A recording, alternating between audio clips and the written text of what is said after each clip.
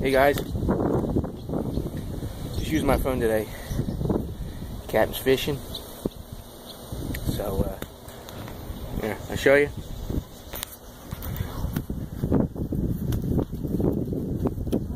Got some beautiful skies, pretty windy, that's for sure. Lines are in, got the tra crab trap in. It's beautiful out here. So, uh, sorry about that. Just doing our thing. I'll bring you back if I have any footage. So, I'll have to edit this video later because it's going to be choppy, pretty choppy if I do catch anything. I'll try to get it on film.